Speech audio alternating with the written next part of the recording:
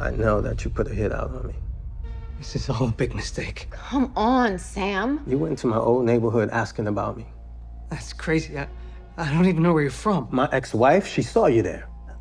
That's not true. He, he's insane. Why don't you tell him the truth, Michelle? Tell me what? She's the one who wanted to purge you. She told me. Oh, fuck you, Sam. That was nothing, and you know it. Hey, what was nothing? Oh my god. What was is- nothing? What was It nothing? was nothing. I forgot about it until he just brought it up. What the fuck is he talking about? You have to believe me. It was a dumb joke. We're in bed together, Marcus. Fuck you. Shut up. She was complaining about you, and she suggested purging you. Oh my god, that's bullshit. No, he was complaining, okay, and I said it as a joke. Michelle, what did you say exactly? I said, if he bothers you so much, then maybe you should quit complaining and do something about it. And he said, You mean purge him? And I laughed because it was a stupid joke. Baby, come on. He is lying to get out of this. You have to see that. It was a shitty thing to even talk about, but I mean it. She's lying, Marcus. Just like your ex wife was lying about seeing me. She's playing you like a fiddle. Shut up! Hey!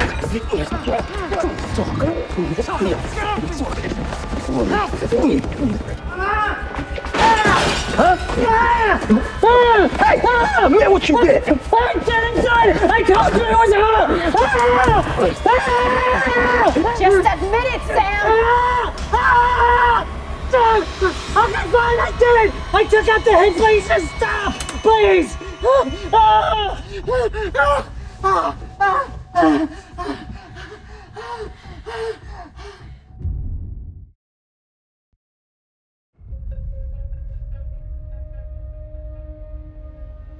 you love her? Of course not. But you're willing to purge for her.